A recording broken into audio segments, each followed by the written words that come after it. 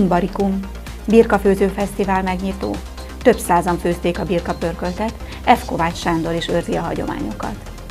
Jó estét kívánok! Önök a Nagykonsági Híradót a Karcag Televízió napi hírműsorának a külön kiadását látják 2022. június 27-én 18 óra 5 perckor.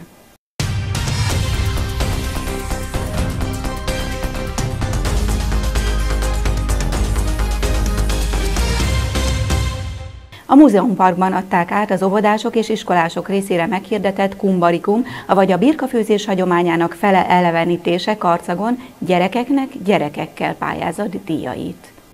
A Kunbarikum pályázatot a Kovácsos Gyermekekért Egyesület a KI, amival együttműködve 2015-ben hagyományteremtő szándékkal indította el, reagálva az FM által kiírt pályázatra. Tudtuk meg Lévainé Kovács Róza intézményvezető helyettestől.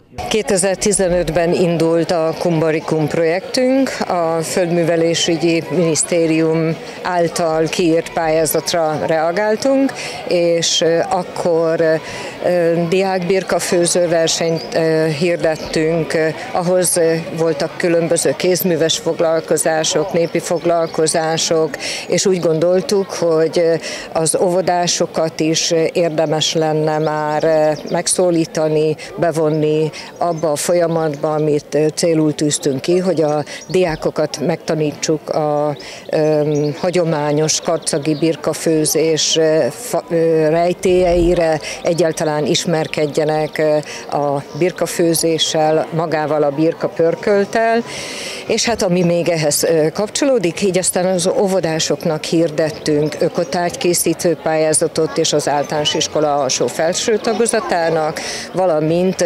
rajzpályázatot az általános iskolásoknak. Hát azóta kisebb megszakításokkal, mert volt olyan időszak itt a vírusi idején, amikor kimaradt egy év, de utána úgy döntöttünk, hogy függetlenül attól, hogy van-e Birka Főző Fesztivál, nincs-e, attól mi a mm, pályázatokat kihirdetjük. Összesen 116 alkotás érkezett, ebből 33 tárgy, a többi rajz. Nagy örömünkre 116 pályamunka érkezett, ebből 33 ökotárgy, a többi rajz. Olyan sok értékes rajz érkezett be, különösen az alsó tagozatosoknál, hogy a zsűrivel együtt úgy döntöttünk, Török Csilla pályázatot, programot gondozó társammal, hogy az alsó tagozatosokat két csoportra bontottuk. Az első, második, illetve a harmadik, negyedik évfolyamot külön értékeltük.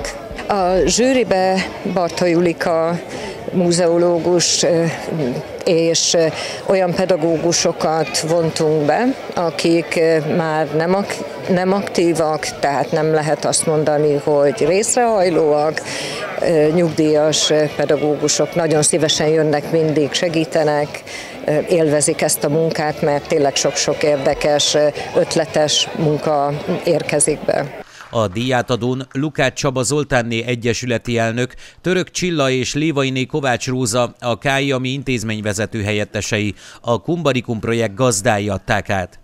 A rajzpályázaton az alsó tagozatosok első-második évfolyamos kategóriájában első helyezett Juhász Kitti, második B-osztályos tanuló a Györfi István katolikus általános iskolában.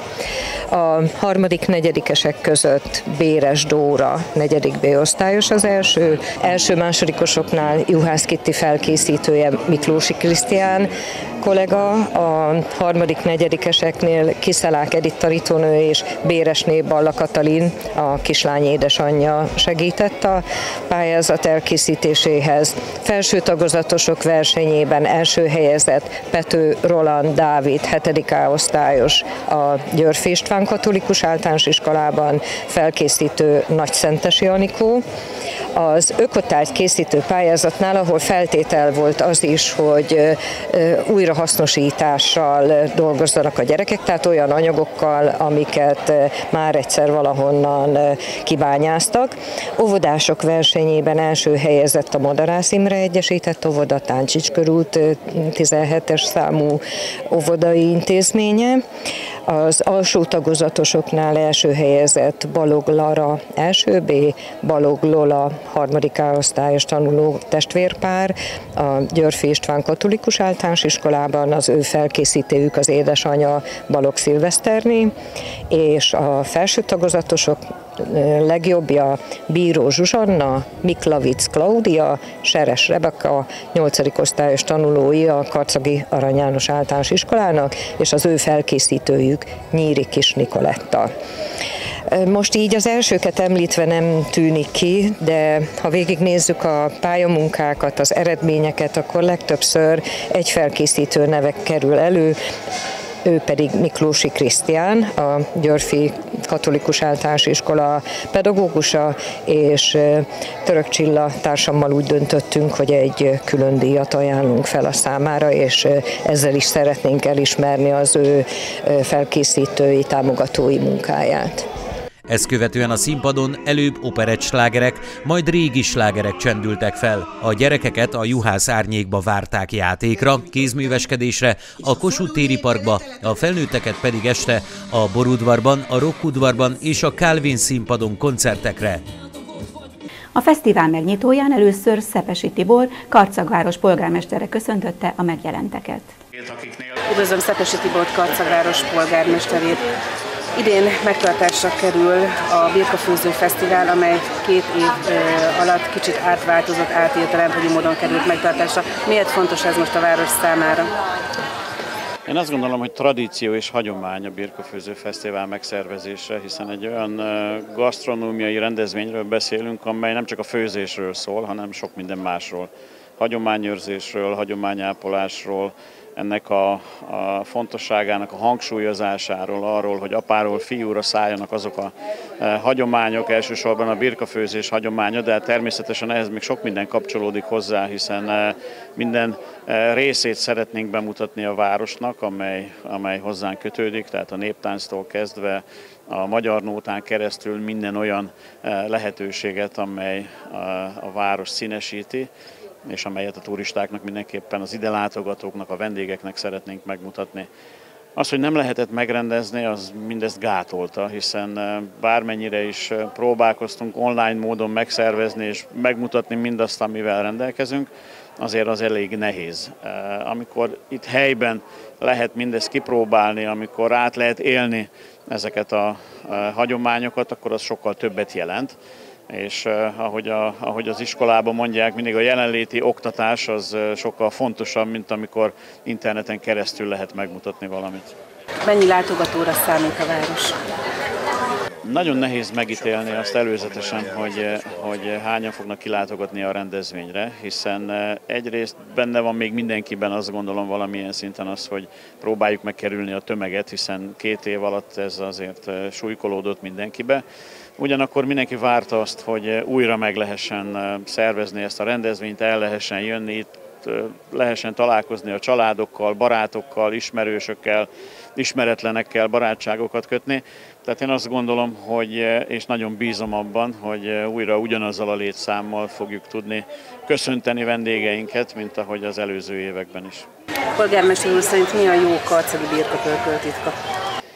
Szerintem az a jó karcagi birkapörkölt, amelyet egyrészt hagyományos módon főznek, másrészt mindenki elsősorban a főző beleteszi a szívét, lelkét. A harmadik pedig az, hogy az a társaság, aki összejött ezt a pörköltet megfőzni, megkóstolni, az egy összetartó társaság legyen, és akkor azt gondolom, hogy minden birkapörkölt finom lesz.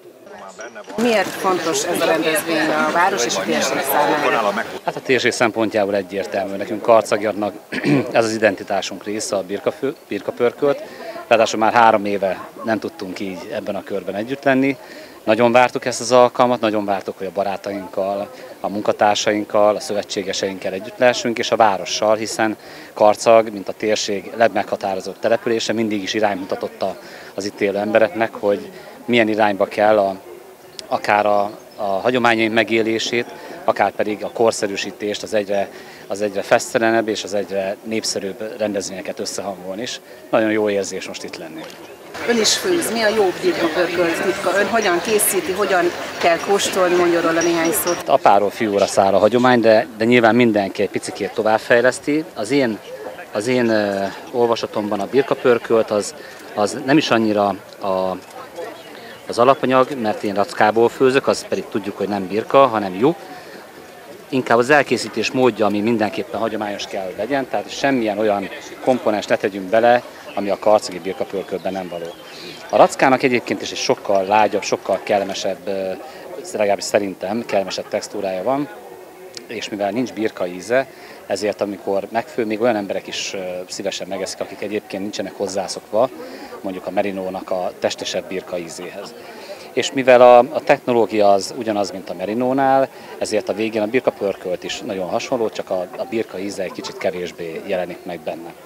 Most a területfejlesztési ügynökséggel főzünk együtt, Karancsi Tamás kollégám, aki az ügynökség ügyvezetője, ő most nevez először a Kalcagi Birkafőző Fesztiválon. Ő is kun identitásokkal rendelkezik, ugyanakkor az első olyan birkafőző, amikor megméretteti magát, és ezzel szeretnénk egyrészt a munkatársainknak, másrészt pedig a, a megyében fontos közfeladatot ellátóknak kedveskedni. Üdvözlöm Kunné Nánás Simonikát, a Déli Kulturális Turisztikai Sportközpont és Könyvtár megbízott igazgatóját. Itt vagyunk Karcagon. Június utolsó hétvégén hagyományukhoz szíven megkezdődött a Karcagi Birkafőző Fesztivál. Hogyan készültek az idejére? Sok szeretettel köszöntök én is mindenkit.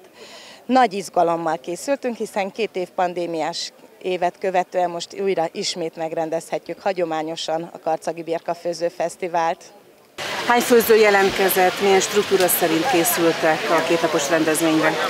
241 főzőhelyünk volt kijelölve, és ebből 5 nem került kiadásra, az összes többi helyen főző található, akik már főzik, készítik a finom hungarikum birkapörköltöt. A programok tekintetében ugye egy nappal korábban kezdetét vette a fesztivál. Milyen programok voltak, és a főnapon mi várható?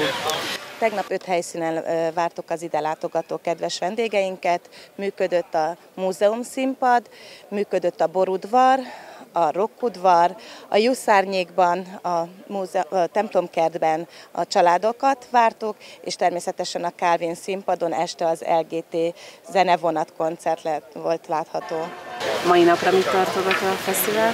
A mai napon már csak négy helyszínünk lesz, működni fog délelőtt 10 órakor a megnyitót követően a múzeum színpadunk, a borudvarunk, Jusszárnyékba továbbra is várjuk a gyermekeket nagyon színes programokkal, és a Calvin színpadon este az első emelet fog föllépni.